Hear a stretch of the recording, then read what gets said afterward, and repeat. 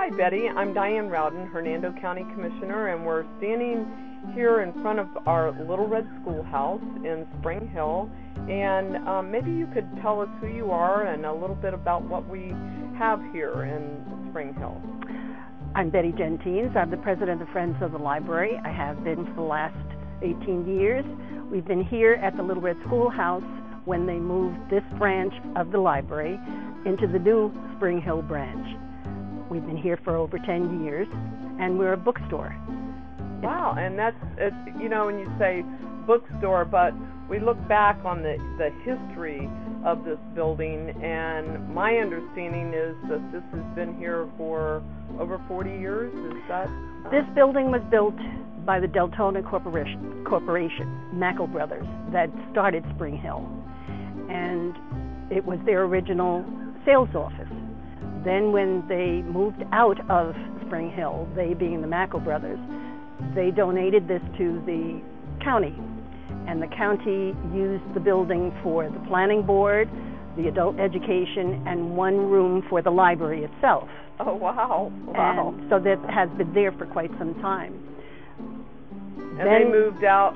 Um, then the they... county moved out when they extended the courthouse, the present courthouse in Brooksville, and they donated this to the library system to become a branch, an actual branch.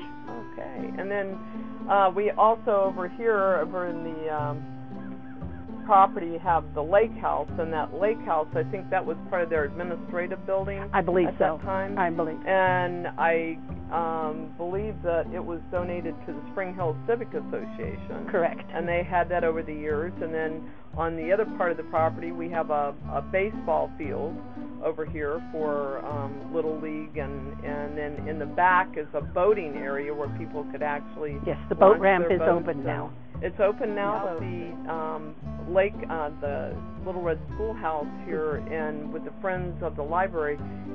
This is a bookstore where people can can they buy books or use books? How does this work, Betty? This is a win-win situation for the community. The community donates the books, or the books are weeded from the library.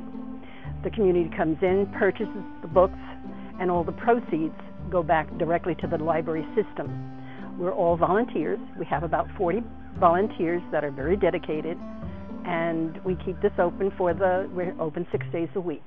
Wow, isn't that wonderful? Yes, I know. I I come by here and I'm just amazed when I come in and see the mm-hmm. people that are just so happy to be here and it's a very uh, friendly atmosphere. yes. Yeah. So, well, I appreciate your time and um, I appreciate all of your dedication. Thank you. To helping the library and helping people in Hernando County. Thank you. You're very welcome. Thank, Thank you. you.